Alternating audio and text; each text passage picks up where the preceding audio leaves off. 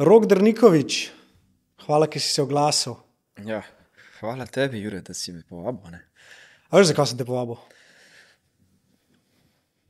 Nekaj hočeš slišati od mene. Ja, malo hočem pobrskati po tvoji glavi, zato ker, kar se tako najbolj spomnim iz Džima, je enkrat, ko sva skupaj trenirala, v bistvu ti si bil že noter. In jaz sem prišel in, in sem na tvoji faci videl tako en tak determination, ki je bil notko, oh shit. Nismo se prišli zabavati sem noter. a ne. In pa si mi rekel, da je ti like collapse, komad. Aha, Se okay. spomniš? Ja, ja. To, je bilo, to je bilo bolj večerna ura.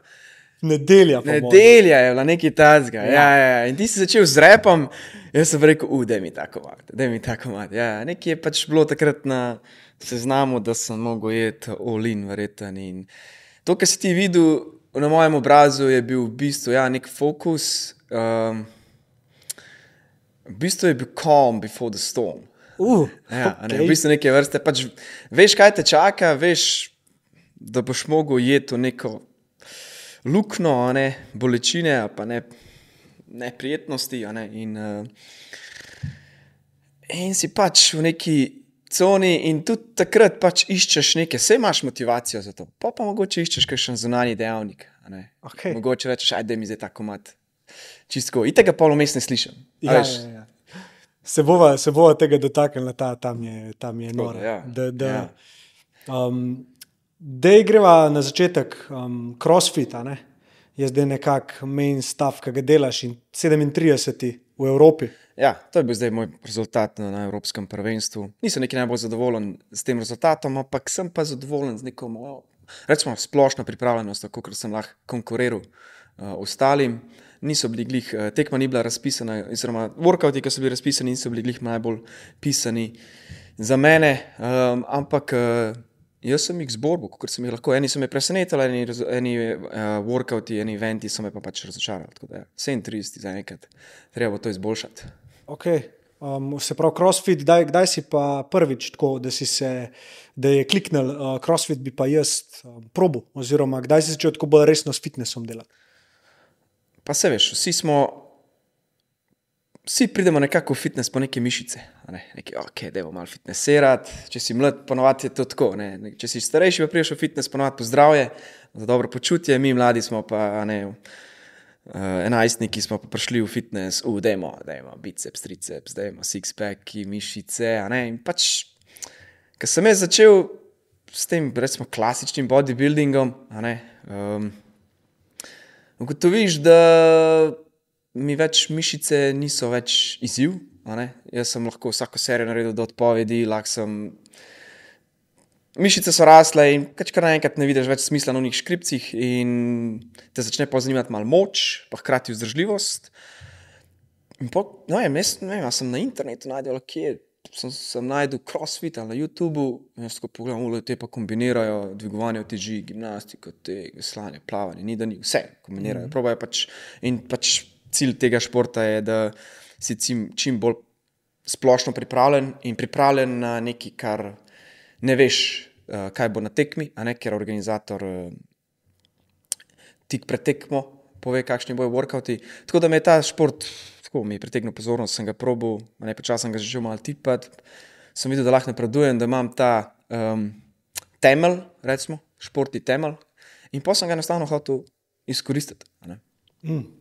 Kaj pa misliš, da je, um, kaj pa misliš, da je neka kombinacija veščin, lahko greva tudi umske, um, ki jih rabaš, da tak šport sploh lahko na takem nivoju uh, se igraš?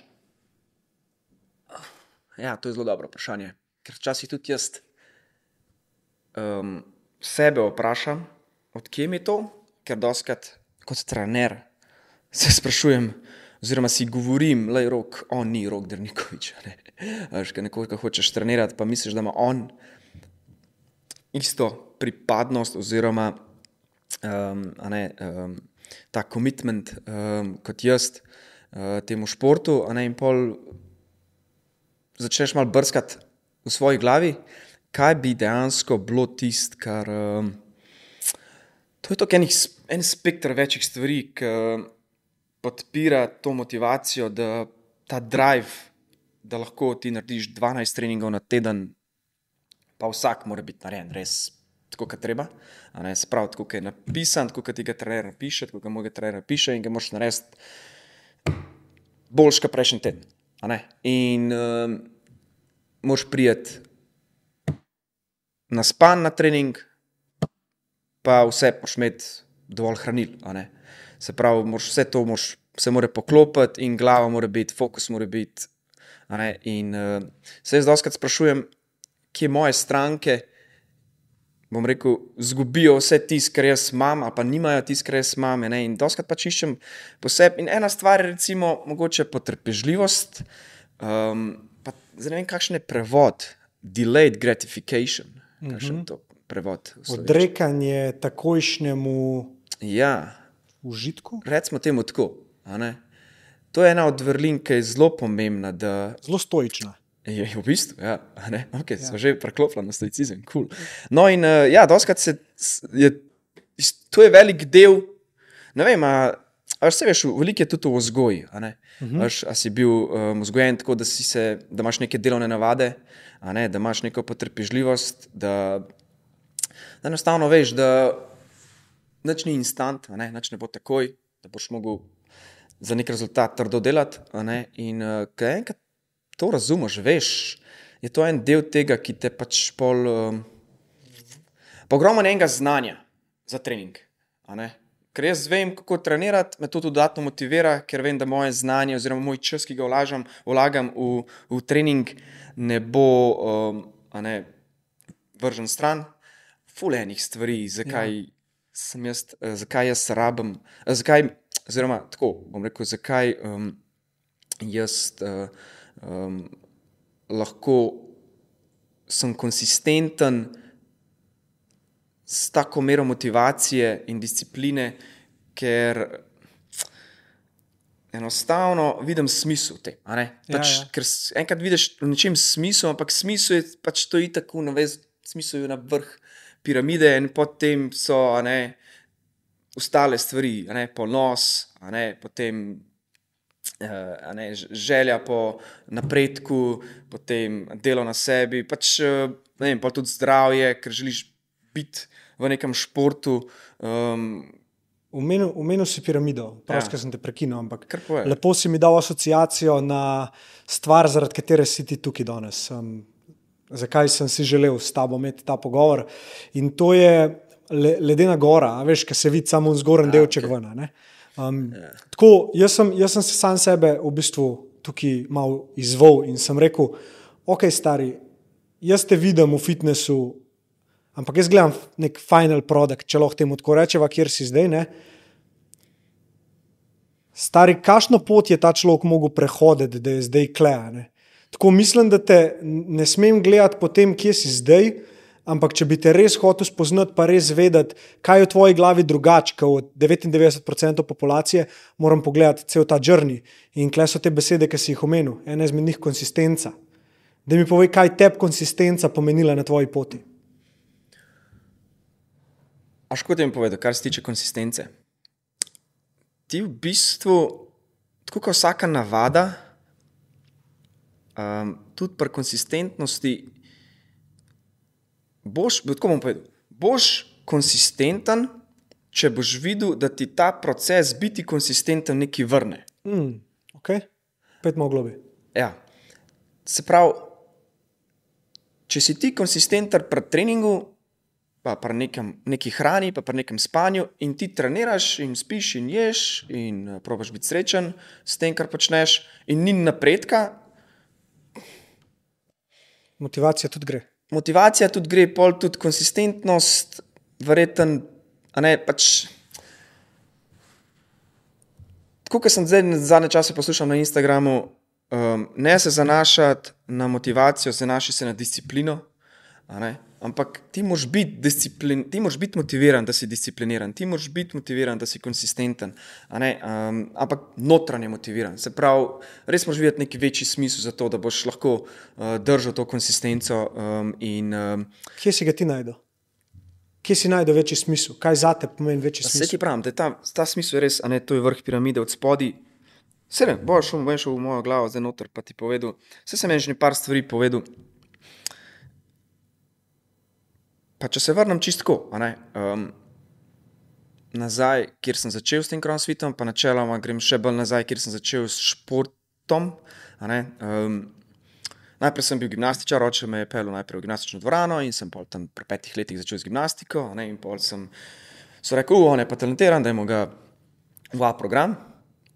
Uh, to pomeni, da sem že takrat polet treniral dvakrat na dan. Predstavljaš sedemletnega otroka dvakrat na dan trenira. Um, no, ampak, Kako si pa takrat dojemal trening, prosti? Se to je tisto. Zato, zato sem šel namenoma zdaj nazaj, okay. ker res vse iščem, kje mi to. Ja. In pa se spomnim, ne vem, s trenerjem gimnastike. Kako je on meni rekel, rok, če hočeš imeti močne roke, moraš te sklece narediti za odpovedi. Razumeš? Če hočeš imeti če hočeš napredovati v pulapih, mora zadnja serija uh, zgibov zgledati tako, da mi pokaže, da se cel treseš. Razumem, sem se dojel, ok, zdaj moram res imeti tja, ki boli. In pa greš tja, ki boli, ker je tako, da otrok malo mal ne razumeš, kaj se tabo dogaja. In pa še kot otrok ugotoviš, umil je prav. Naslednjič, ko sem delal isto vajo, sem jih lahko več naredil. In tako si pa otrok.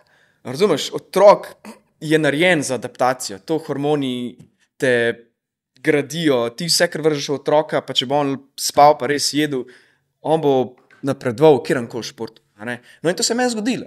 In ker se ti je zgodila ta konsistenca že prv, kot otrok, um, da si pač vsakič, ki si imel vem, trening za moč, ki si imel trening za ne vem, neko vzdržljivost ali pa za neko vajo, si jo naredil tako, kot je trener rekel, in je rekel, ja, je to dobro naredila, in vidiš, da je bil napredek narejen. In se pravi, ta zanka sklene in ti vidiš motivacijo v tem, ker je bil rezultat.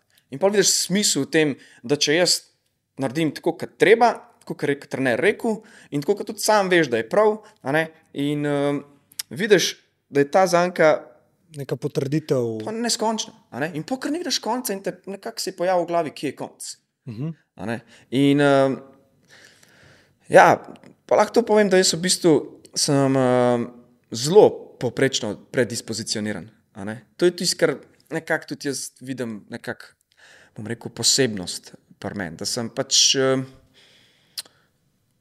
Dejansko mogo več truda noter vložiti, kot ja, pa nek človek, tako, ki, je... ki je že se rodil močnejši, večji, širši, širše, ne vem, medenico, ramena, sklepe, bolj endomorf, jaz sem bolj mezomorf. Pa, Se pravi, se pravi, bi lahko, bi lahko nekako rekel, da si, da si underdog.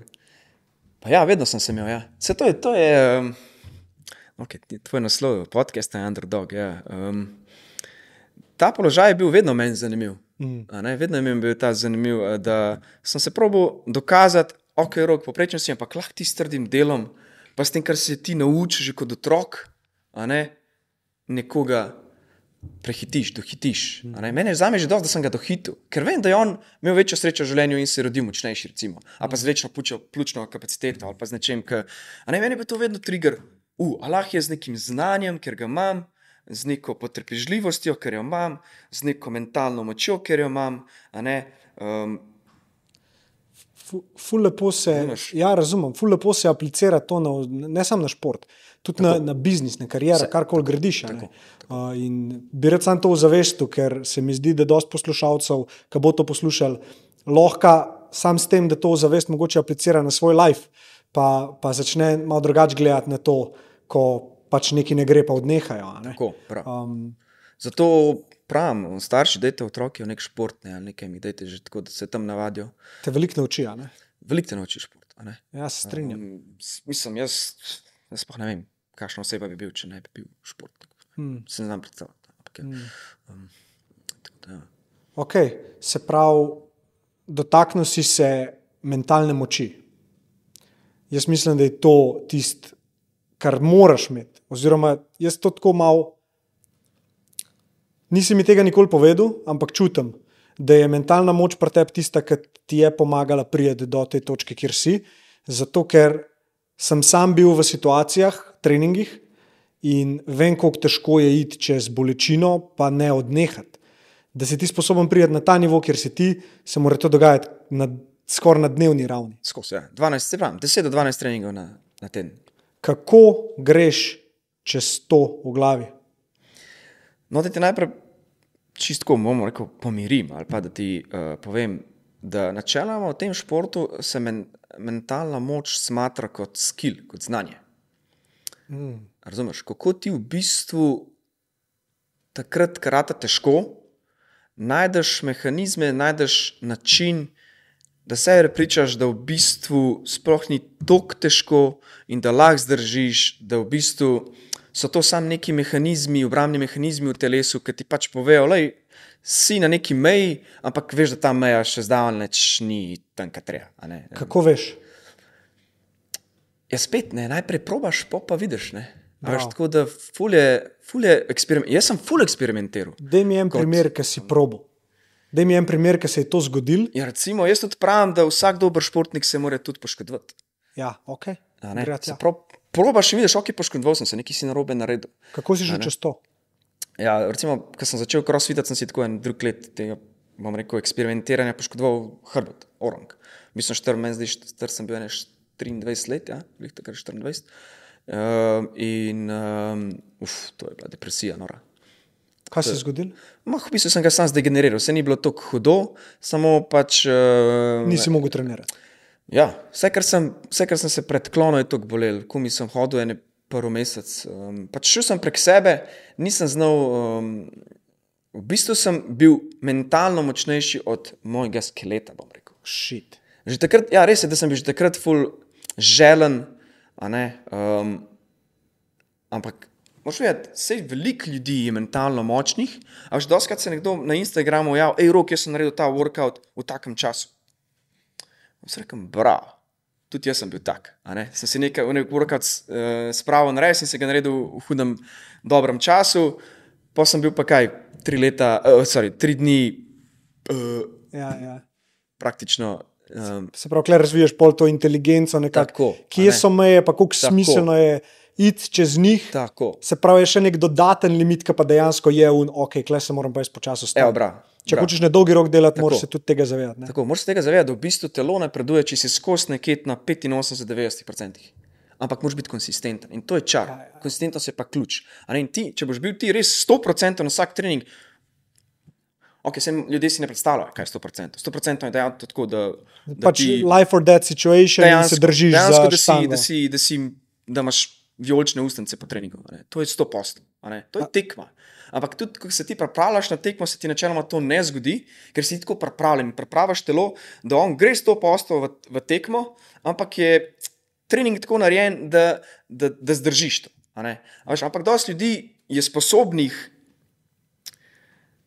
jeti, bom rekel, en trening tako intenzivno, da je da umre. Mm -hmm. sej, sej bravo. Sam, to je tisto, kar je pač, bom rekel, dodana vrednost, pri meni, pa pri načeloma vsakmu dobremu crossfiterju, da probaš teh 85-90% biti konsistent, konsistenten. Mm -hmm. Dejansko, da ti držiš to intenziteto, ki ni čist maksimalna, ampak glih to, da je za stimulus. Se pravi, da je za nek, ti moš tako tvoj cilj, da na treningu stimuliraš telo, ne? tvoje, um, bom rekel, motorične sposobnosti, mehanizme, da jih stimuliraš, jih moraš, a ne, um, jih moraš, um, rekel, ko po angliški, da jih moraš push, se pravi, da jih moraš. Um, Te sisteme moraš Testirati. Ja, v bistvu jih moraš, moraš uh, uh, uh, ja, pač recimo temu, da moraš, um, ja, v glavnem, uh, you have to push the system.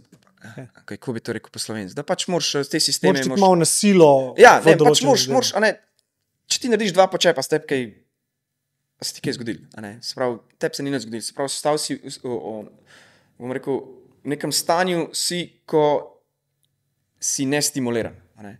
To je tudi en del znanja o treningu in je dobro, da to vsi ljudje razumejo, ki se želijo lotiti treninga.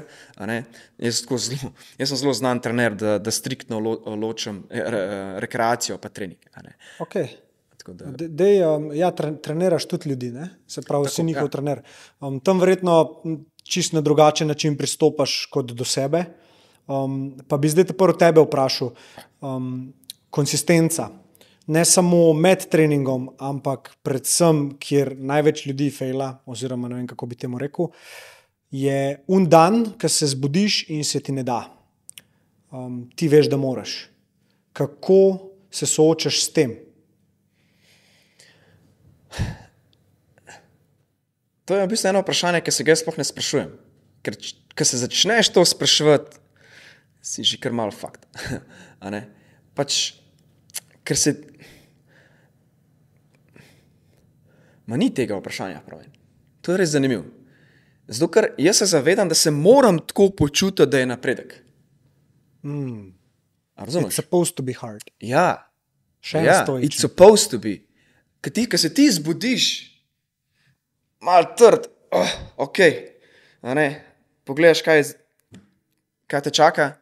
Um, v dvorani za narest, kaj ti je trening, trener napisal, ti takrat veš, ok, zdaj je še začel delovati. Zdaj je telo tam, kjer bom rekel, vse od krvi, hormonov, a ne vseh mehanizmov, ki so, bom rekel, um, zato, da se ti adaptiraš na te strese, se oni šele začnejo zbujati. Ker je tako težko, da se ti začneš, da se ti zjutraj zbudiš, pa si cel mal tak, uf, to je pa naredil posledico. Ampak ne tako posledico, da ti dejansko ne moreš ostati, da te vse boli, da dejansko si vnet cel. Mm. In takrat veš, da ok. Ne, so, bom tako ne, So te trenutki, ki se zbudiš glih prav zmatran, pa so te trenutki, ki se zbudiš preveč zmatran. No, in te trenutki, ki si, ki si preveč zmatran, veš, da ok, zdaj sem pa preveč zmatran, ampak je ni ta možnost, bom pa stal doma. Jaz grem v in nekaj naredim na tem. Ne, ali naredim uh, samo masažo, ko že ti pravimo, se pravi, se valčkaš, ne se. Um, Generacija. regeneracija. Se pravi, narediš aktivno regeneracijo in uh, se pripraviš na to, da pač boš naslednji dan bil glih prav zmatran. De, dejansko si, dejan, po tem, kar zdaj govoriš, si dejansko dokaz enega lepega reka in to je, da se problemi začnejo, ko preveč razmišljaš, pa premalo delaš. a ne. In a veš, kam ima veliko ljudi, ta je zelo taka popularna, overthinking. Ne? Problem imam z overthinkingom, preveč razmišljam. Ne, da preveč razmišljaš, premalo narediš. Ti predvidevam, da se ne soočeš velikrat z overthinkingom. Seveda, da se. Seveda, da se. Vse so vsi. Um, pa rečemo, da je ta overthinking, ta inner bitch. Spomniš, kaj so tudi tem Goggins. govorili? Ja, ja, pa Goggins temu prav. ne. Uf, gremo na ne. Gogica. You don't know me, son. No, in te glasovi, a pa overthinkanje, kakorkoli, da. Pa vse to imamo vsi, samo moraš imeti. Sele, jaz sem čisto odkrit povedal. Jaz sem res full dedicated v tem športu, ampak včasih pa nisem mogoče toliko v biznisu, trenutno. Lahko bi bil bolj dedicated v biznisu, pa v trenerstvu, kot sem v športu, v tem, kar sem. Zato, ker vidiš v tem večji Ne? Ful je tako, da sej sem, bom rekel, um, bom rekel mentalno nadpovprečen, se pravi, kar se tiče moči, ampak še zmeraj sem to zgradil s treningom, znanjem, s tem, ker vidiš, da deluje. ne. Um, tako res je, ampak to lahko preslikaš tudi na biznis. Jaz tudi zdaj vidim, ker mogoče malo več delam zadnje čase, da sam pejt, sam začni um, in boš enduro, boš, boš ratu bolj vzdržljiv, boš ratu hitrejši, bolj učinkovit. Um, če sem zdaj pač to apliciral na biznis, Ja, lepo si apliciral. ja. Sam sebe moraš Pa sej tudi porivati naprej. biznismeni, ne, vsak, vsak, ki se ukvarja z nekim um, poslom, ne, nekim poslanstvom, se srečuje z overthinkingom, pa z, a ne ti govori, oj, da pej traš se sprehoditi, pa ne zdaj napisati tega maila. Ne, uh, ne te telefonske klice moraš narediti, pa da rajš pet jesti, pa boš to jutro, pa ne spet Ja, ja. prokrastinacija. Ne. Okej. Takrat si moš reči, ne, ne, ne, tempo, tempo, sej, lej, naredi te tri klice, te tri maile, ker če boš ti te tri maile spisal, pa te tri klice naredil, to pomeni, da boš jih probo narediti čim bolj učinkovit, a ne, čim bolj učinkovito, pa z neko um, um, mero kvalitete in s tem si vedno boljši. a ne. Vedno, pa isto je v športu. a ne. Zato moraš pač uh, takrat, ko ti začneš overtinkati, sam greš, ne zgubljati časa, takrat. Um, Action. začni, začni, sej, lej, pri biznisu, začni prvi mail pisati in boš videl, kaj se ti je zgodilo. Nared ga, ne, pa magar nared, ne vem, tisti dan, ne vem, jaz tri maile nared dva, ne, oziroma na tistem trenutku, ne, sam pet, sam začni, sam pa boš naslednji človek že kar štir napisal, niste v športu, a ne. Sam neki nareta, ne, ne Tako, razmišljati. o ne preveč razmišljati, sam pet, sam Ja. pet, a ne, prim torba, pet v gim, pa um, ker, če ne drugega, boš ti s tem ustvaril jekleno navado. Až Mhm. dosti ljudi, jaz sem nekaj slišal, da se en navado trenira tako, da je samo prišel v gim, naredil dve sklic, pa šel domov. In to je delo petkrat na teden. Da se je navadil pa red torbo in jeti v gim. A veš, kaj hočem povedati? In pol je pač sam stopnjeval trening in je kar enkrat se je znašel petkrat na teden v gimu, uh, s tem, da je naredil kvaliteten trening. To recimo Goggins je imel en dober primer, ki je. Um, hvala za darilo, by the way. Oni te ful podpirajo, ne? Ja, Noko. ja. Noko pa Kingbox me zelo podpirata. Per, Kingsbox uh, pa poznam enega izmed njih, ampak ok, pustimo. Um, Goggins je rekel, zjutraj se zbudim in kokrat začne ta glas v moji glavi, ne tlaufa, da si neumen, da si neumen. In on si rekel, ugasnem ta glas in si dam čevlje gor, ker ker si dam enkrat čevlje gor, ni poti nazaj. Super ge. In gre. Ampak to je ekstremist. Ne? To pač David Goggins, scena zase. To, kar je ta človek naredil, je noro. Ampak je samo en dokaz in on to večkrat pove. Vsi pač imamo to v sebi, vsi imamo to kapaciteto v glavi. On jo je samo tok izživel. Ampak vsak, ki je tukaj kdaj treniral, ki je se pušil do limita, to o tem govoriti je tako lahko, ker si pa enkrat tam, bi pa sam rad, da se konča stari. Ampak ni smešen, ker greš čez to, čez ta prvi limit, kar naenkrat dobiš neko novo energijo. Second wind, temu rečejo tekači. v bistvu dobiš izkušnjo. In ta izkušnja te nauči. In kot sem prej govoril ne. In ti moraš uh, začeti s temi zankami. Da, da veš, recimo, ne vem, ne vem, kakšni so bili cilji Goginsa. Zato, ker on je hotel me zdi najprej skušati, tako je bilo prej. Ko je on sploh začel? Je On bil- je hotel priti v Navy sile. In Ha, da je je prišel v bil. Navy Je sile, je mogel mogel iti čez nek težek trening in sploh, Ja, da je lahko šuje, mogel Ja, ja, skušati, ker je bil čist pretežek. Ja, ja, tako, tako, tako. No, in pač njemu je bil cilj shujšati. verjetno. Zdaj, glede na to, da si je on, uh, meni zdi, da si celo ne vem, kako vnev uh, pokostnico zlomil celo s Ja, tekom, ja. a ne, da je kar, ne vem, kaj so bile zgodbe, da je on kar zavezal si noge, pa še naprej laufu. Z duct tapom si Ja. jih je polimo. No, zdaj tukaj je pač vprašanje, a je to, a ima to smisel. Za njega ima. Za njega ima. Ne, on je hotel nekaj dokazati s tem. Lej, um, mislim, jaz. Okay. Zdaj, je on zaradi tega boljši tekač? Je on zdaj zaradi tega več shujšal vprašanje? On si je lahko s tem nakopil sam dodatne ža- težave. Se, ga, no- se on je meni legenda, se jaz ne rečem. On je res uh, uh, inspiriral ogromno ljudi. hvala Bogu za take. Ja. Ampak včasih moraš ljudem dati vedeti, da, da je čar v optimumu. Ja. Zato, ker veliko ljudi izgubi motivacijo, ker ne vidi smisla, ker je. Až fule znanja tudi ne, v treningu, če govorijo zdaj čisto specifično o treningu. Se pravi, če ti hočeš trenirati, da hočeš biti boljši, močnejši, hitrejši, več mišične mase, pol je res dober, da se najprej malo izobražaš glede tega, ker lahko izgubiš motivacijo zaradi tega, ker ne dobiš povratne zanke, ne dobiš rezultata. Pa spet ponoviš, pa ne dobiš rezultata. ne. zato najboljši trener, verjetno. Ne? Ja, ok, zdaj si ne bom delal kaj reklame, ampak jaz Pa se ti jo pravim, bom jaz. hvala. Ker res hočem pač uh, ljudi prepričati, da. Až kako je, včasih so bili ljudje bolj potrpežljivi, kot zdaj, logično.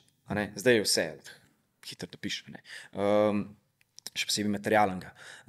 No, in eh, kako zdaj ljudem svetovati, ker so manj potrpežljivi, kot so bili naši starši, pa še pred njimi. Um, se pravi, s tem, da probaš zoptimizirati tisto, kar počneš, in boš prej videl rezultat, in boš prej motiviran, da to ponavljaš. Mm, okay. A bi, a bi, dej, povej mi eno razliko, ker imam občutek, da rok trener, pa rok športnik, crossfitter, je tako malo drugačna oseba, malo drugačen pristop, ima, drugačne skile mora uporabljati. Kako ti, rok trener, si bomo še malo bolj podrobno, kako ti kot rok trener si sposoben zdaj človeka motivirati in mu pomagati, da naredi to, kar je za njega najboljše? Ker je to ful drugače od tega, da si ti sposoben sebe motivirati, da narediš, kar je za te Seveda, najboljše. seveda. Mislim, biti trener ni samo to, da napišeš nek trening, pa ga mora on narediti. Seveda, kot si rekel, ti moraš njega motivirati, ne, mu moraš. Um, moraš dati večji smisel, da lahko gre do te limite, ki je potrebna za to, da on raste, ne, zato, da on, oziroma da on napreduje. ne. In um, še enkrat bom to povedal. Veliko je res o tem, da hočeš ga pripričati, da bo imel s tem več od življenja. Smisel. Da bo imel, ne vem, lahko ga prepričaš, lej, če ne drugega deliva to za zdravje, če ne drugega deliva za to, za to da boš ti srečen sam s sabo, da boš ti zadovoljen s sabo. Kot pravimo pregovor, uh, healthier the tree, better the fruit can offer. Se pravi, deli na sebi, zato da, da boš srečen, da boš um, Drugim lahko dal več. Tako. Recimo, vem, veliko je vzgibov, ki jaz pravim ljudem, uh, ljudi motivirati, da trenirajo, da delajo na moči, mišični masi in na vzdržljivosti, um, ne, ker sta moč in VO2 max pač pokazatelja dolgoživosti. In probujem jim to povedati. Ne, jaz, zdaj, kar ti govorim, to znanje, to je znanje. Ja, ja. In ti, ki daš ljudem znanje in da oni vejo, zakaj to delajo, bojo delali, ne? bojo bili motivirani in bojo videli smisel, da to počnejo. No, in pač, če se vrnemo na Goginsa, on je hotel priti na cilj se. On je vedel, kaj what it takes? Sprav, kaj je cena tega, da bo on med elitno specialno enoto bil pripravljen, da naredi njihove teste.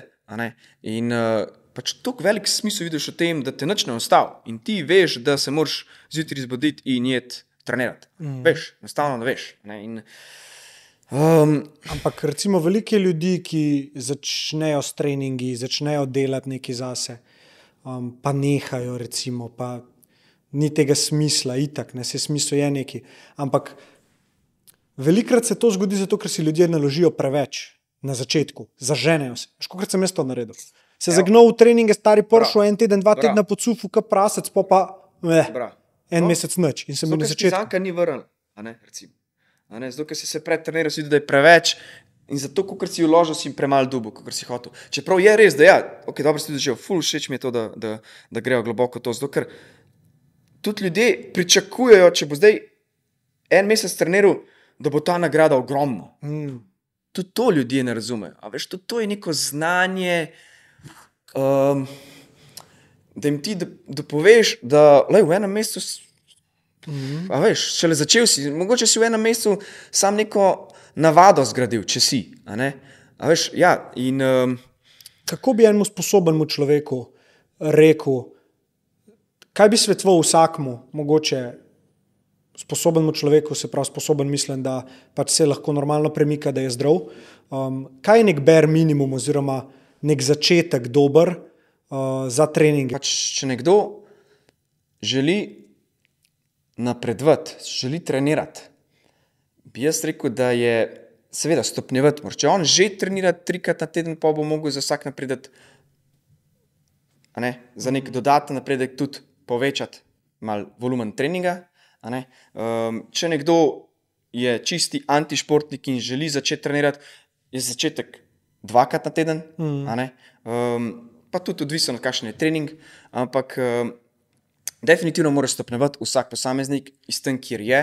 ne, Um, in uh, dejansko bo mu njegova motivacija izvirala iz tega, tudi kako se bo to lotil, ne, tako kot sem že prej rekla. Um, tako da, um, ampak za neko, recimo, ki si pa enkrat že na neki nuli, pa hočeš to obdržati, pa biti zdrav, gibalno zdrav, brez bolečin v sklepih, trikrat na teden si uh, zmagal. Hodo, ok, good. Um, veliko ljudi te verjetno na tvoji poti tako podpira, iz vidika spodbujajo to, kar delaš. Um, a je kdo tako bil čez življenje, ta klik, ki je izstopil, da ti je tako dajal nekaj, kar mogoče sam nisi najdel vse. Lahko je to ne vem, nekdo, ki si ga spremljal prek spleta, mogoče kakšen trener, kdo od staršev, prijatelj.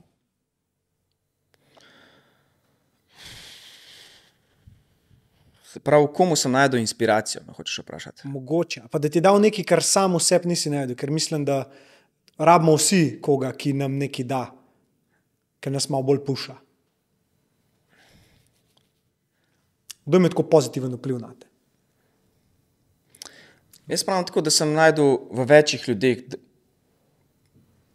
nekaj dobrega in sem pol nekako sestavil, uh, kakšen tudi um, želim biti osebnostno in glede. Um, U, lepo. ne, um, lepo. Kakšen pa želiš biti? Kaj so Boljši. Tako? Boljši. ja. Okay, prej, prej so se malo stoicizma že dotaknili, pa ga bomo, po mojem, zdaj bo skočila not na glavo. Um, enkrat si mi zanč omenil uh, Gladiator film, Ja. pa ta glaven lik in da, in da Ja, ti je on okay, predstavljal točno, nek ja, ja. ideal. Um, Zdaj dej, smo se o tem pogovarjali, ker sem vprašal, kdo je pa moj vzornik. Ha, okay, zdaj tudi vem, kam bolj ciljaš. Ja, ja. To, sem, to me je že dosti ljudi vprašal, kdo je moj vzornik. Ja. Um, in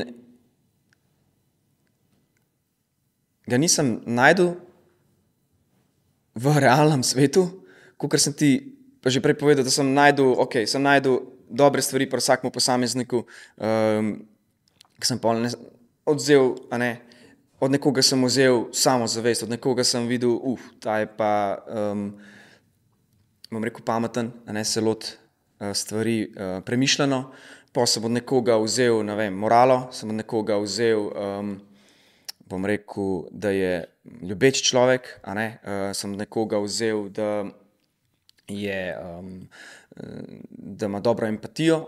In eh, tako pač sestavljaš nek svoj lik in uh, probaš sebe dati vem, v družbo, v trening in pol tam uh, izpostaviš te svoje slabosti in pač pol nekako gradiš na tem. No, ja, gladiator je res, to je, to je res en tudi film, ki je, um, bom rekel, spremenil moje življenje, še posebej, ker um, me je spoznal stoicizmu. a ne. Um, ker sem tam šele prvič spoznal, da je bilo veliko enih izrekov takrat napisanih, in pol, ko gotoviš, da so te izreki tako, ok, vse to je racionalno razmišljanje, ne? naj bi bil stoicizem v bistvu racionalno razmišljanje, kar eni pravijo, da ni najboljš, um, da si lahko preveč. Um, Zagrnjen. Je, a, pa, a pa čustveno okrnjen? Ja, ja. A ne? Ker, pač, a pa duševno okrnjen. Um, čeprav sem pol tudi nekje prebral, da veliko teh filozofov tistega časa je uh, pil vino s psihadeliki in pisal te stvari. Um, tako da si pa rečeš, ok, da se vrnem. Ja, in pol ta, v bistvu, ta Maximus iz Gladiatorja, on je v bistvu um, namišljen lik, ne to ni po resničnih dogodkih, to treba povedati pri tem filmu. Um, je pa nekako ideal moškega, ki bi se nekako vsak želel, čeprav tu treba to povedati, da film bazira na maščevanju, kar uh, v bistvu stoicizem pravi, da, ne, da je maščevanje v bistvu zguba časa, ne, da se moraš na nek na drugačen način ma- maščevati, kot kar nekako z neko agresijo, mm. um, neko jezo. Uh, pa da se vrnem nazaj. Ja, Meni je že takrat, ko sem kot vem, otrok, da sem prvič videl ta film, sem videl v tem liku nek leadership, neko, nek pogum, nek, neko zbranost. Nisem mogel verjeti, kako je v bistvu, kako opisuje, kako v bistvu prikazuje film, ko on si predstavlja družino. On je tam na bojišču, v samem peklu, kar je možen vojna, se pravi, največji pekel možen na tem svetu. si on predstavljal družino doma, on pa tam vodi vojsko. Kako v bistvu on je nevaren človek, je sposoben, je voditelj, ampak hkrati on se zaveda, da je to pekel in on ni tukaj zato, da bo hotel komu kaj dokazati. On je tam zato, da proba narediti ta svet lepši. Čeprav, ne, se veste, vojna je. Mm. Pustimo zdaj to, kjer interesi Ni so tam- tukaj vmes. Ni tam po svoji izbiri. Ja, ne, ok, tam tudi bil, verjetno ni bil po svoji izbiri, ampak on je hotel svoje delo opraviti in ga tudi, ne, Aurelius mu je rekel, da je ustan, a ne, pa bodi moj naslednik. On je rekel, ne, moja edina želja je, da grem domov. Že tukaj mi to predstavlja, ne, um, res zanimivo, kako lahko nek tak človek s takim močnim srcem lahko tudi tako nežen človek, hkrati čustven. a ne. Um, Ja, in tukaj sem jaz pri tem, tem rekel, namišljenem liku, sem jaz najdel fulene motivacije, da delam na sebi tudi um, ne, um, čustveno, ne, in seveda, da,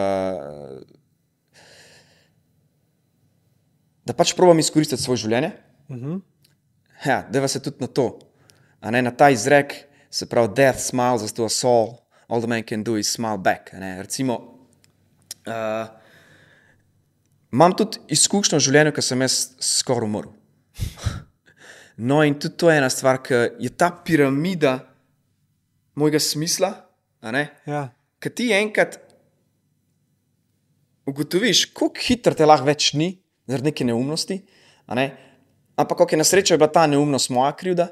ne, Ampak vsakodnevno, vsakodnevno smo ljudje v prometu, ko si ti lahko v prometu, lahko kakšna nesreča zgodi, ker je nekdo na telefonu, pa nekdo ni tebe videl, pa te je lahko Ja. zbil po vozu in si ti lahko spremeni življenje. Kako se ljudje tega premalo zavedamo, da se lahko življenje v trenutku spremeni na slabše, še posebej, bom rekel, našemu telesu, se pravi, da dejansko naše telo umre, mm. oziroma če- lah, če ločva ja. dušo pa telo, se pravi, kaj se lahko zgodi s tvojim telesom in da ti moraš telo izkoristiti, ker ima rok trajanja. Kaj se je tebi zgodilo? Uh, ja, tako kot sem ti že omenil, jaz sem bil pač nek hiperaktivc z ADHD-jem, spravo pa gimnastičar hkrati. Uh, okay, takrat sem že uh, igral nogomet, pri 13 letih in sem valjda hotel vse preplezati, se dokazati, vse veš, otroci. Ja. No, in sem uh, splezil tam v Vižmarjih na, na en odstaven vagon. in jaz sem mislil, da je ta vagon odstaven, ampak je še zmeraj daljnovod imel nad, nad sabo. Ja. Jaz sem ta daljnovod paril in sem se probil uh, igrati opico in preplezati z enega vagona na drug vagon. ampak nisem vedel, da je, tem, da, da je ta daljnovod pod napetostjo. No, in ker je bil to odstaven tir, ne, uh, je bil vagon seveda primer in tam je čakal, da dobi svojo funkcijo, v glavnem. No, in uh, sem jaz v bistvu, dokler sem se držal unga, une, unga kabla, pa imel superge na železnem vagonu, elektrika ni šla čez mene. Ko sem se pa spustil, pa usedel na vagon, je šla pa v bistvu tukaj izpod noge, pa iz zadnjice je šla pa na vagon. O, šit. Tako da sem preživel v bistvu ta, Čak, čak, kaj aj te katapultirali? Ali... ni, v bistvu sem padel iz vagona, Okay. Imel sem to srečo, da sem jaz, saj jaz tudi opisujem, da sem to daljnovod napel, ne, ker sem se spustil z njim dol in Ja. on je imel ne, eh, neko napetost, um, neko elastičnost usmerjeno zgor in ker mene stresa, sem jaz spustil. Ja. Ker če pa ta daljnovod ne bi bil pod napetostjo, bi ga lahko še zmeraj držal in bi me lahko skuro. Ne. Ja. Tako da sem imel to srečo, da sem v bistvu napel ta daljnovod in da polka me je stres je šel iz mojih dlani, sem ga spustil, pa hkrati sem preživel nezavesten padec iz vagona. In Kaj si bil nokautiran? Ja, ja nezavesten. Zbudil sem se. A se spomniš, kaj Eh, Spomnim se samo, ko sem se zbudil. vmes, kaj je bilo? Sploh ne vem občutkov. Sploh ne vem občutkov. Um, čeprav se spomnim nekega tunela, spomnim se nekih, nekih, bom rekel, nekih občutkov, da imam nogo za glavo, da, imam, vem, da, sem, da je vse zmešan. Da če naredim to, da bom stegnil nogo. Razumeš, živčni sistem je bil takem šoku, da, da, da sploh nisi znal razločiti, kako si orientiran v prostoru telesno. To se spomnim. O, shit. um, nek tunel. Um, tako da bi imel nek DMT izkušnjo, v bistvu. Dejansko tudi pravi, da se veliko te substance sprosti uh, tik pred smrtjo. No, ampak jaz se pač ne spomnim, ker sem bil v takem stresu, um, fizičnem stresu, da, da sem se zbudil, nisem čutil rok, ne, sem se, sem se lahko dvignil, začel sem tam hodil okrog, videl sem svojega kolega, ki je bil v takem šoku, da večji šok kot jaz. Ja, verjamem. Ja. Razumeš, ti njega sprašuješ, okay, kaj se ti je zgodilo. Ne tep se, rok. Ti vidiš, da je on paraliziran, kaj ti je bilo tega treba, ti govori, ne ve, kaj narediti, ni mogel niti rešilca poklicati, ker je bil v takem šoku, da je to še nekdo drug naredil. ne. In take stvari, ki ti začneš tu malo povezovati v glavi, ker je to malo stresne, ker si bil pred nekim dejstvom, da si bil tik pred tem, da ne, da, da umreš. Načeloma, da lahko postaneš nek invalid. ne. Um, ja, in pol, recimo, da sem tudi s tem vzgojil neko hvaležnost. Tudi. Evo, to je tudi lahko neka, nek del te piramide, ki jo imam. a Ne? Neka ta hvaležnost, da sem zdrav, da sem, ne pa polna poškodba hrbta, ki sem jo omenil. Ta hvaležnost, da, da se lahko gibaš, da si neomejen, da si svoboden. A ne, jaz tudi fitness nekako enačam s svobodo. Mhm. Tako da um, ta izkušnja, da, da sem, da sem skoraj umrl, bi nekako želel, da to vsak doživi, seveda s tem, da se sto procentno vrne. Um, ker pač, a veste, vsak, vsak, ki je tudi preživel raka, sej pač rak, lahko vzameš raka kot to, da te je naredil da si vzgojil boljše vrednote, da ti naredil močnejšega, stabilnega človeka, seveda lahko pa umreš. ne. Tako da, a veš, ne moreš kar reči nekomu, ja, jaz ti to pravošam. Ne morem jaz tega reči, ampak um, Dal ti je pa vrednote, ki mi je bi jih veliko stvari, ja. Privoščil ljudem, da bi Ja. jih spoznali. Ampak nažalost, lih te najtemnejše izkušnje, naj, naj, najbolj neprijetne izkušnje, ponavadi največ tega dajo. ne. ko vidiš svojo mamo, očeta, zaskrbljenega, mm -hmm. žalostnega, šokiranega. Ja, tudi njim to neki. A veš, ti si bolj šokiran, ko to vidiš. Ja, Ni bilo pri meni takrat, kaj se meni zgodilo, kot to, kaj sem jaz videl, kaj sem jaz naredil mami, po očetu, pa bratu, pa vsem ostalim. Ko so vsi sprašvali, ali sem jaz v redu. Eni so celo sprašvali, roke, ti hotel sem umor narediti. a veš.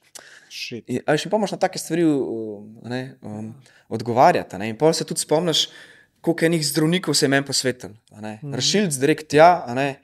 Uh, pač nisem verjel, da si lahko v dveh minutah iz Vižmar v urgenci.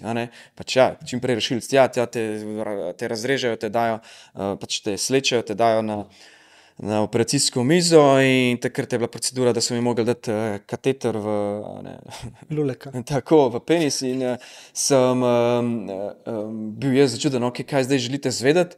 Ne, in oni so takrat hoteli zvedeti, ali so meni ledvice odpovedali ali ne. Ja, a itak, ne. če bi kri pretekla. Seveda, če bi kri pretekla, bi oni, gremo ga odpirati. Ja, ja. In je ne, takoj cs, lokalno anestezija, gremo rezati, ven pobrati tisto, kar je v bistvu bo segnil. Ja. A veš, in take stvari pol sestavljaš, oh, šit. Mm. -hmm. A veš, in pol, ja, tako sem rekel, neka hvaležnost, neke vrednote, um, da pol.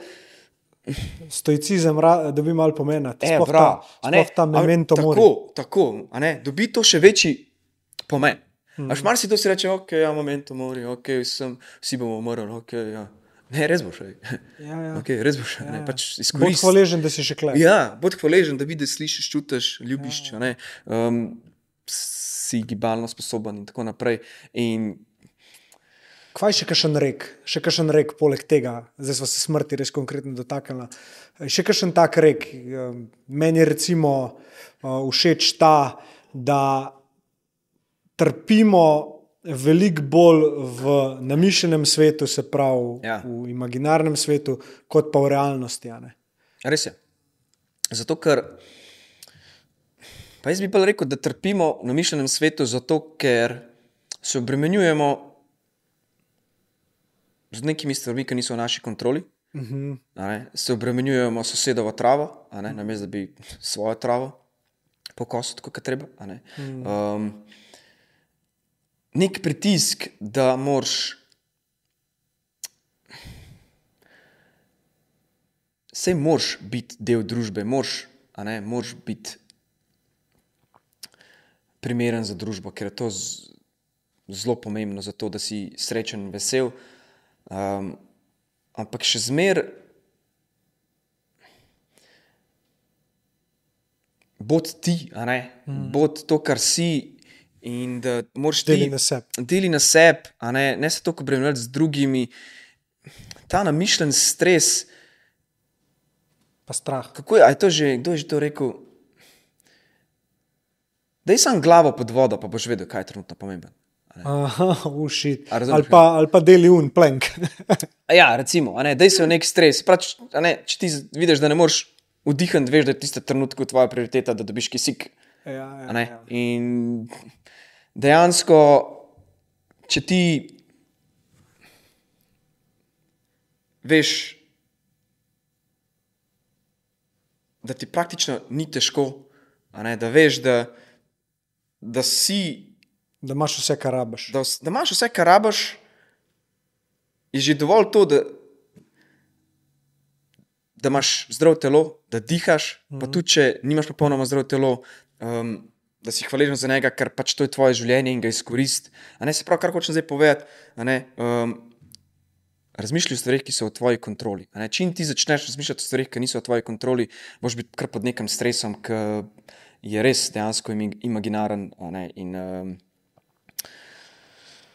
Ja. ja, um, Kako, um, kaj bi ti rekel, če izhajava iz tega, um, iz nekakšnega življenja? Kaj, kaj za te pomeni živeti?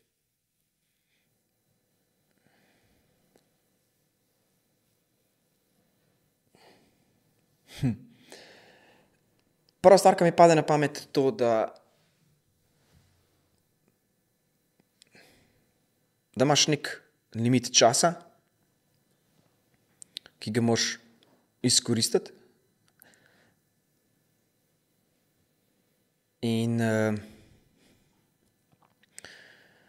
moraš ga predvsem pametno izkoristiti, ker ne moreš biti skozi na 100% obratih, moraš tudi počivati, moraš tudi uživati. Um, Lahko se vrnemo tudi nazaj na stoicizem in malo omenjava tudi pleasure. Ne, Okay, ker okay. ker marsikdo pride do mene rok, pa da je malo živ, skozi treniraš, da je pet malo life. a ne. A ne, Ampak samo je to life. A veš, kaj hočem mm. tudi povedati? Da, da, Ni užitek uno, kar ti rabiš, zato da si srečen. Jaz si drugače predstavljam, ok, vse pleasure je pleasure, vsi vemo, kaj je pleasure. ne. Ja, Ampak kaj je una res prava sreča? Jaz bolj pravim, da ta prava sreča je bolj mogoče iz dopamina izvira. Serotonina, kot iz dopamina, a, ker mu- ne bom bil zdaj endokrinolog tukaj, ampak eh, baluna, uh, pristna sreča, pri meni bolj izvira iz tega, da da najdem ponos in srečo v tisti stvari, ki je težka, nekaj je lahka. Ne, zato, ker vsak gre lahko zdaj na plažo, Ali pa odpre TikTok, pa si recimo. dopamin nežge. a ne, Um, no, se iz tukaj izvira ogromen, eh, iz socialnih omrežij izvira ogromen uh, imaginarnega stresa. Um, ja, pa da se vrnemo mogoče nazaj na to, kar so glih pri tej temi živeti. A ni to zanimivo, da nam je v bistvu preživetje zagotovljeno? Iz vidika gledaš, da pač praktično je danes to, da imaš ti dom, pa hrano, pa vodo, pa ješ, Tako, kar ti paše, tako. tako, neka norma. Tako. Včasih je bilo pa Še to posebej v zahodnem svetu si ti, je tvoje preživetje zagotovljeno. Ja. To imaš ti toliko enih safety netov v ja. sistemih zahodnega sveta, da Ne rabiš se boriti za hrano, ne rabiš iti loviti, Recimo. ne rabiš ne. Ja. ne, pa služb je veliko, še posebej, če si zdrav. Um, izkoristiti life, res. Živeti za me pomeni, da ga izkoristiš ta čas, ki ga imaš, in uh, da greš tja, kjer najdeš izziv, kjer najdeš smisel, da narediš sebe ponosnega. Uh -huh. okay? Tudi to moraš znati preklopiti, da ne delaš več kot otrok, si delal druge ponosne, ne, in moraš znati preklopiti, da delaš sebe ponosnega. En lep rek je, da moraš dve osebe v življenju narediti ponosne. Osemletna verzija sebe, pa 80-letna verzija sebe. Ja, ta je dobra reka. Ja. Ta je zelo lep. Mhm. No, to je to. Ne? To moraš tudi znati preklopiti v življenju, um, da ne delaš stvari zaradi drugih, ker tukaj spet izvira imaginarni stres. Mm. Zaprav, ti si v bistvu pod stresom, ker hočeš nekoga drugega im- impresionirati. ne. Seveda boš mogel nekoč impresionirati svojega otroka, v bistvu, a pa biti mu izgled. Mm -hmm. um, In tudi stoicizem pravi, da del stoicizma pravi, da ja sem izgubil. Zgubil sem jo. Ja, bi ga. Um, nanašala se je na to, da ti v bistvu v svojem življenju si dolžen edin sebe dvigati na ta nivo, da si zadovoljen sam s sabo. Kar pomeni, da nima tvoja sreča in tvoje življenje nobene veze z drugimi, edin ti si tisti, od katerega moraš pričakovati stoprocentno to, da si se potrudil po svojih najboljših močeh. In stojka ni strah umreti, stojka ni strah bolezni, stojka ni strah smrti. Um, strah ga je, da ne bi bil najboljša verzija sebe. In v bistvu, kot si prej rekel, da bi tukaj naredil... ful tebe vidim. Ja, vse sem, vse to sem jaz. Jaz pravim res stvari spraviti v akcijo. Ful nočem biti samo beseda, želim biti dejanje. In, um... Ampak stari, prosti, ker sem te prekinil. Ja. Ampak a se ti ne zdi, da vsi sposobni, zdravi ljudje, da imamo isto možnost doseči to, kar ti dosežeš, recimo v glavi? Zakaj tokim ljudem ne rata? Kaj je razlika pri tebi in pri njih? Kaj ti misliš? Okay, zdaj, lahko tukaj debatiramo, je meni ratal ali ne. Meni je ratal, meni je ratal narediti uh, sebe ponosnega. Meni je ratal doseči neke cilje. Um, recimo, zdaj je bil ta cilj moj, da sem prišel na Evropsko prvenstvo v CrossFitu, če smo čist v nekem takem merljivem cilju. Um, zakaj ljudem ne uspe? Jaz dosti tudi vidim, da ljudje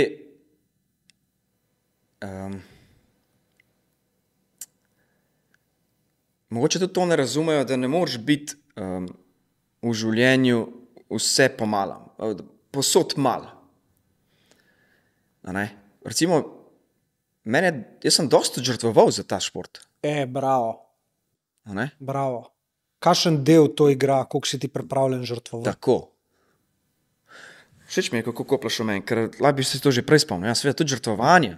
Ti moraš biti, ti moraš videti smisel v tem, spet so pri tem smislu, da žrtvuješ neke stvari, da žrtvuješ socialno življenje za to, da žrtvuješ, ne vem, zvezo s partnerko, mm. da žrtvuješ to, da te mama manj vidi, mm. da si manj z družino, da si manj z bratom. Um, mm. In uh, vsi govorimo o nekem balansu v življenju, mhm. ampak svet je tako konkurenčen, da težko kaj narediš v balansu. Na kakšen način misliš, ravnovesje? Tako, ti boš mogel jeti iz ravnovesja, da boš lahko nekaj dosegel v življenju. Ampak še vedno toliko iz ravnovesja, da, da se je telo in um, naši možgani, sposobni zregenerirati. A bi to enačil z, a bi ravnovesje tukaj enačil s komfort zonom? Tudi. Tako. Se, to prav... velikrat slišimo, moraš iz komfort zona, da zrasteš. Ne? Tako, zato ker rečemo, da je komfort zon, tok dela, tok pležarja, a ne oziroma tok prostega časa, tok dela, tok prostega časa, tok hrane, tok spanja. Life-work uh, balance. Ja, in uh, za neki več boš mogel malo odrezati prostega časa. Mm -hmm. Če hočeš nadpoprečne rezultate, boš mogel narediti Recimo, nekaj, kar ni povprečno. Tako, ne, boš mogel tam vzeti pa dodati. Zato, ker tvoji konkurenti to delajo. Vsak bo posegel v prosti čas, zato da bo, a pa bo posegel, mogoče tudi uh, dosti biznismenov, poslovnežev, poseže v spanje za to, mm. seveda, tok, da da ustane v nekem um, spet zdravem balansu. Uh -huh. um, in ja, takrat, ko ti mal, bom rekel, ta balans, ne bom rekel, da porušiš, ampak ga mal prevagaš nekam, ja. ne, uh, je to. Ja. Jordan Peterson je lepo rekel, da se moraš v življenju večkrat rebuildati, torej večkrat ponovno ustvariti, da si sposoben doseči, osvojiti tisti cilj, ki si, si ga zadal da če si ti konstantno isti človek, ne boš mogel iti čez življenje s takim tempom, ki greš lahko, če si ti sposoben sebe prilagoditi dani situaciji. Tako kot imajo sili ali kdo ima adapt or die. Ne? Adapt, overcome, vse ne vem. kako Tudi meni všeč ta izraz adapter, da je tudi jaz ga uporabljam doskrat pri mojih um, vadečih klientih, ne, ker pač dejansko to tudi je šport, ne, ti se moraš telo navaditi na nek stres, da, da Ja. ampak je- ok, Ja, vedno Pač- je premik naprej. Ne? ja, no, uh, ja, Peterson ima, je zelo pameten človek in zelo veliko uh, dobrih stvari pove. In on je tudi to tako opisal, recimo, kaj se je v bistvu Jure s tabo dogajalo, ker si ti v osnovni šoli rešil eno matematično nalogo. Pač dejansko te je bolela glava, recimo temu, in bil si, pač, oh, kaj moram zdaj to razmišljati. Ampak ja, nek del se tebe takrat spremenil. Mm.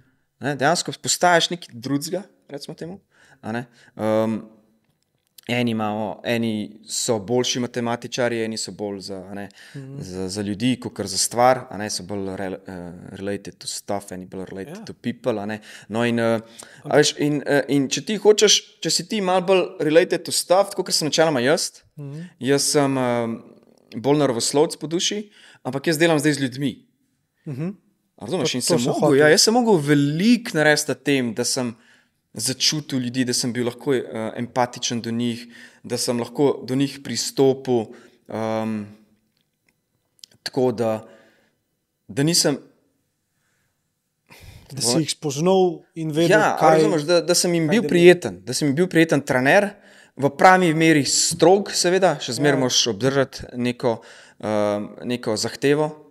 Se pravi, uh, da zahtevaš nekaj od njih um, do te mere, da jih hkrati razumeš, da on pač mogoče ni tako dedicated kot jaz. ne. Ampak ja, kar hočem povedati, da se vrnemo. Ja, moraš uh, del sebe spremeniš s tem, da greš izven cone obdobja in tam se stvari dogajajo. Pač se pregovor pravi, nothing grows in comfort zone. Mm. Dejansko, tako pač je. In, uh, sej, Vse to so neki taki standardni izreki, ampak problem je, da vem, kaj ti hočeš od mene zvedeti. Um, dejansko ljudje teh stvari ne znajo razumeti, ne morejo razumeti, ampak oni jih bodo šele razumeli z izkušnjo. Ja. Tako da moraš ti reči, enoč grem po izkušnjo, Ja. če ne drugega. Ja, in na liderjih, tako kot si prej omenil, um, Maximusa. Ne, um, na liderjih je, da so sposobni v trenutkih, ko pride do izzivov, pokazati pot. a ne. Um, in, in recimo ta adapter, da je, bila, je bil stav, ki sem ga jaz večkrat uporabil, ker nekaj ni šlo, ali so Facebook oglasi bili slabi, ali je blokiral kakšen akant. O, fakt, blokirali nam je, kva bomo zdaj, adapter, daj.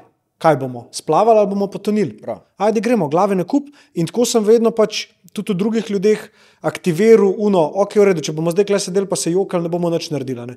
In tudi v lifeu je tako pač. Da gremo se fokusirati na rešitev, ne na problem. In se mi zdi, da če ti hočeš priti do, tudi do tazga nivoja, ki si ti prišel, ne, pa nočem glorifijati ali pa karkoli, poveličevati, um, moraš biti sposoben v trenutkih, ko je težko, najti nekaj, zaradi česar greš naprej in se ne preveč ustavljaš na tem težko. Težko je pač smer, kam moraš iti in ti bo samo omogočila izkušnja, kot si večkrat rekel. Ne? A imaš kakšen moment še iz, lahko iz treningov, lahko iz uh, personal life, kjer je res ratal težko um, in si šel naprej. Zanima me, kaj takrat je v tvoji glavi dogajalo, kako, kako ok, spet smisel, ampak Ja, ja, imaš kakšen mehanizem, ki se ti je aktiviral in ti je dal vedeti, ok, ozavestil sem, gremo naprej. Sej, jaz verjeten bom mogoče najdel pol kasneje doma, kakšen, kakšno primerno besedo za to, da to opišem. Um, ker je pač ja, zdaj brskam po glavi. Karata težko, mislim, jaz si Jure takrat rečem, takrat se je šele začel. Lepa. Lepa. Ja, ker to mi je dal šport. In karata tako težko, da ne slišiš več muske, takrat si šele na pravi poti. Recimo, bravo. Jaz pravim, if you need music to train, change the sport. In pač načeloma je posod tako. Ti, če neki, Ampak tam je res zadela. Dej, dej to izkušnjo. povej. ja, zato ker če ti res treniraš, To pomeni, da si spravim fokusom na dejanja, ki te delajo boljšega. Mhm. In ti ne moreš iti v trening brez informacij v glavi. Mm. Okay? Sprav, ti imaš neke informacije v glavi in medtem ko treniraš, moš te informacije predelati, zato da ti izboljšaš unovajo, da ti probaš takrat, ko je težko sebe umiriti z dihanjem, recimo, uh -huh. da najdeš neki ritem dihanja. In kot so prej rekla, ta inner bitch, ne, da probaš ta inner bitch nekako utišati, oziroma najti nek kompromis uh -huh. s tem inner bitchom. Se pravi, da z njo. da, da krata težko se jaz vprašam, ok, zdaj se je začel, če hočeš napredovati, mora biti tako in moraš iti v to, če ne pej domov. Oh, shit. Pej domov, tukaj delaš gužvo za ostale. Okay. Drugi hočejo biti tukaj, pa to delati. Se pravi, ti si tam v bistvu waste. Če si ti tam, kjer mora biti težko, veš, da si na pravem mestu, ker te bo to naredil boljšega. a ne? In uh,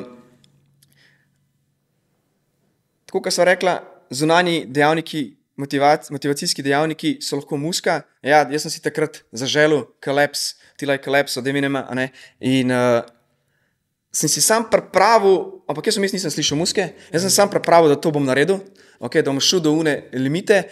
In ker je ura kliknila na start, ne, sem te informacije, kako utišati, pa najti kompromis z glavo, ki mi govori, da je težko, je, kva zdaj ti delaš, uf, Nehi, ne, nehi, nehi, težko je.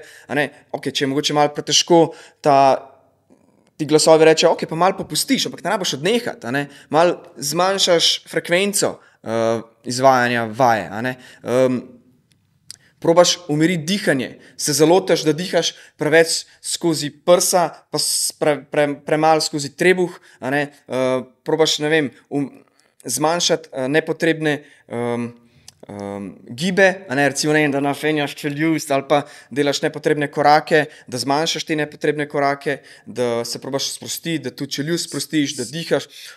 Ne? Se pravi, nekako. Ne bistvu- paničariš. Ne? Takrat, ko imaš ti 180 pulza in več, da ti takrat ne padeš v neko paniko, ki v bistvu sam še, a ne, mal ta inner bitch mal spodbudi, da, da ti še bolj govori, hej, neh.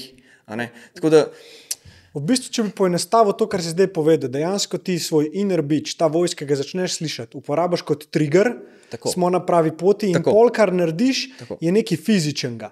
Dihanje, Ja, recimo, sprememba, bravo, in tako. s tem, da ti narediš nekaj fizičnega, se fokusiraš na telo in ne na glavo. Tako. In si sposoben prav, to si zelo povedal. Jure. Hvala. Saj si me, saj si me, Hvala. evo, saj si me prebral, v bistvu, kar sem hotel povedati. Ja, ja. Um, tako, a ne, tega sej ta inner bitch izvira iz telesa. Jaz delam fizično aktivnost. In um, Iz glave. ja, Ta je samo v glavi.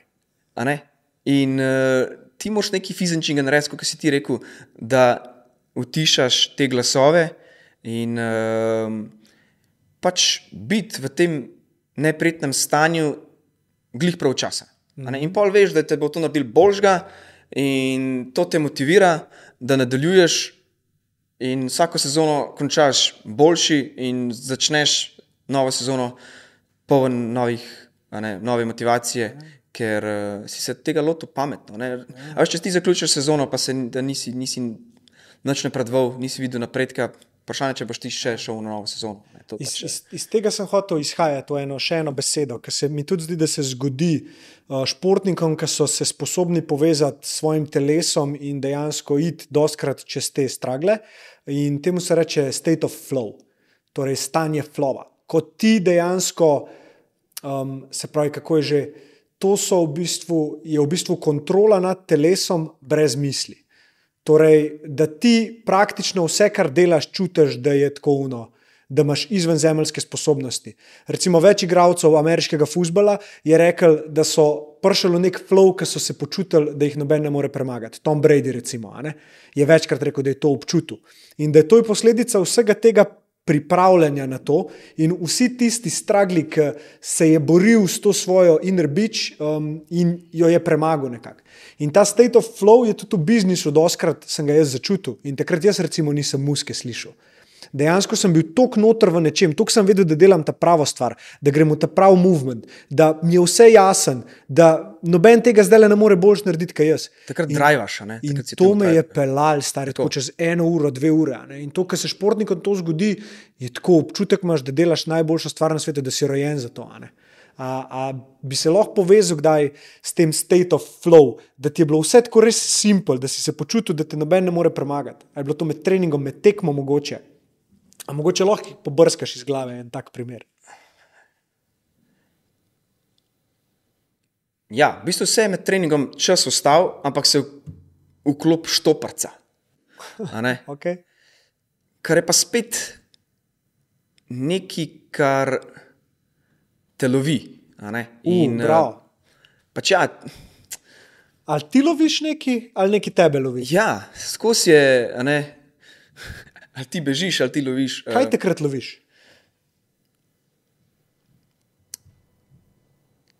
ti moraš narediti trening boljš kot prejšnji teden.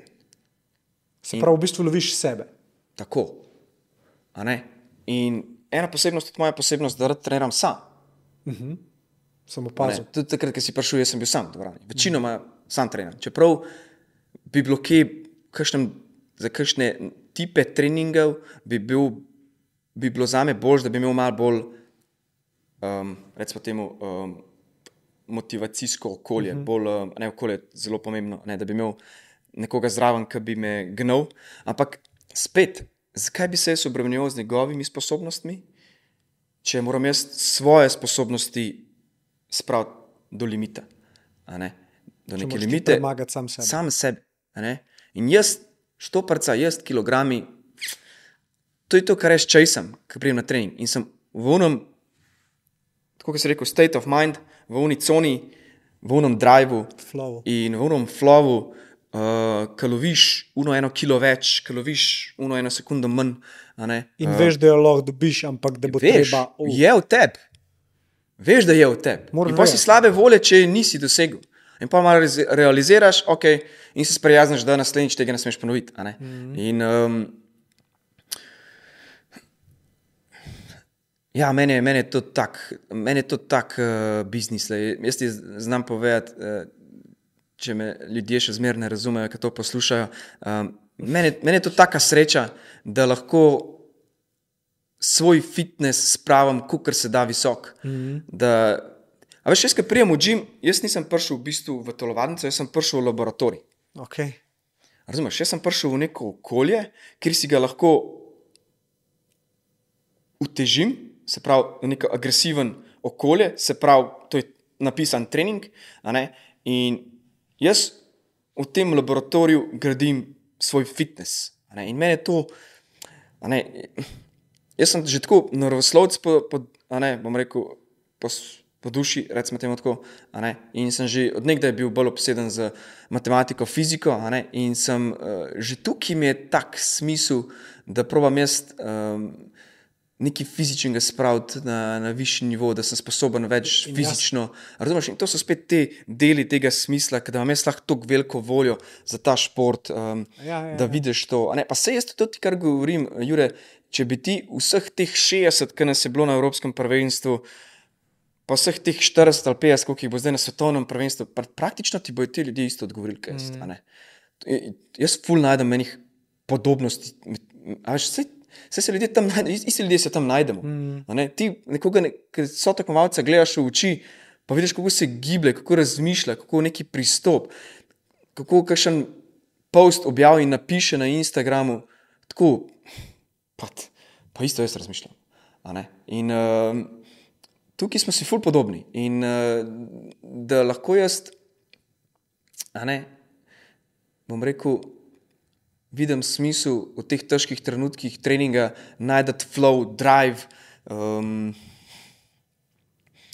Je dejansko skupek vseh tvojih vrednot, tako, zdravja. moraš biti puzzle tega, moraš biti, moraš biti za to. jaz sem se tukaj najdel in zato sem tudi rekel, da grem all in, ne, da sem pač nekako uh, porušil, recimo, temu ravnovesje, uh, da nisem šel v nek um, regular job, ne, se pravi.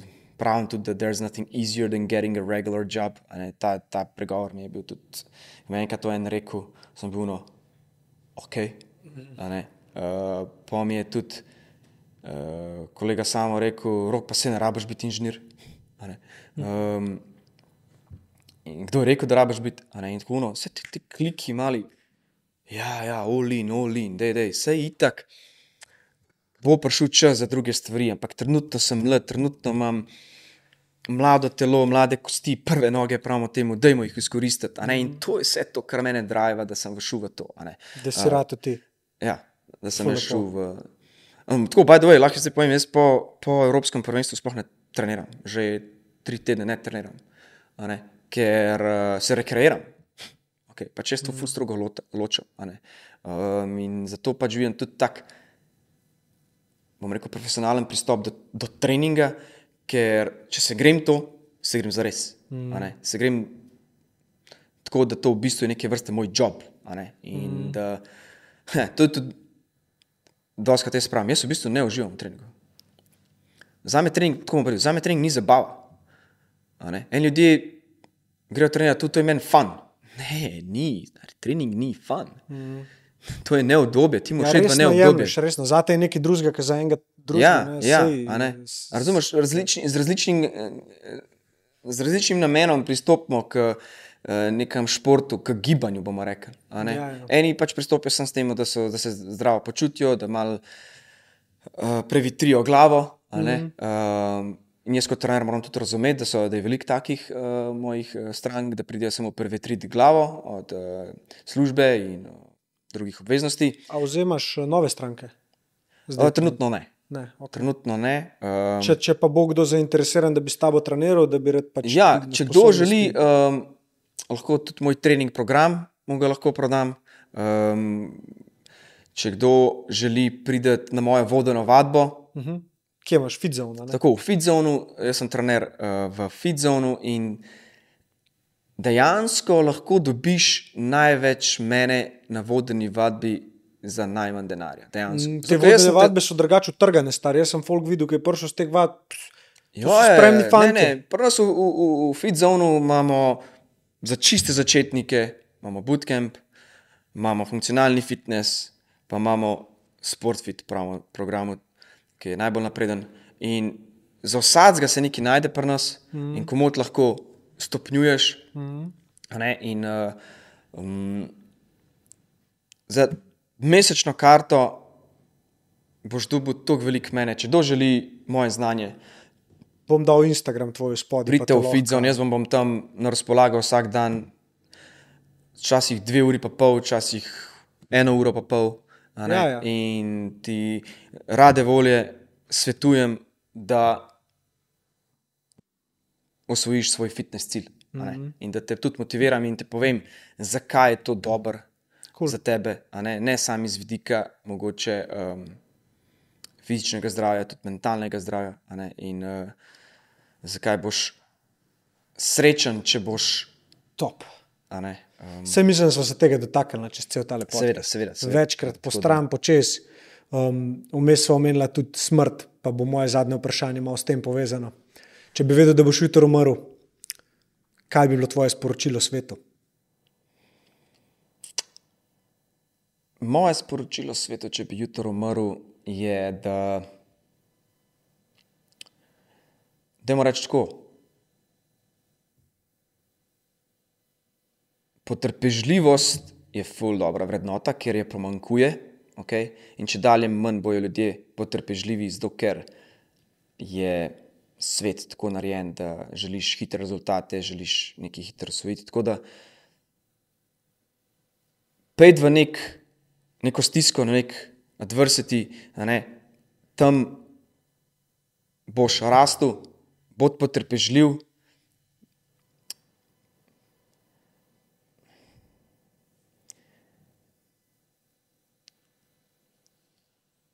Vloži energijo v to, da delaš na sebe, na sebi, a ne?